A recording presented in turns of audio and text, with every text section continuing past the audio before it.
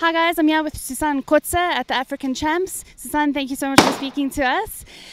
Um, Susan, female shooters, is that a big thing here? Are you outnumbered by the men? No, there's definitely not many women, but um, SADPA seems to have a lot, lot of ladies that's interested, probably from the self-defense perspective.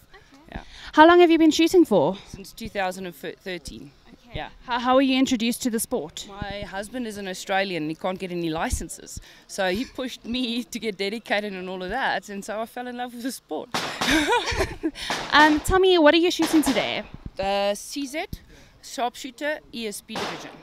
And have you shot already? Yes, on this first stage. Yeah, How did it go? uh, it was alright. first stages are usually tough. Okay, so what do you keep in your range bag? What are the essentials? I have a rather large range bag. I always have um, extra mags, extra rounds, um, basically. Yes, it's, there's a lot of stuff in there. Water, you carry your bullets around, you have to carry everything around. That's why it's got wheels. um, yeah, and a timer. Always have a timer with me. Some plasters.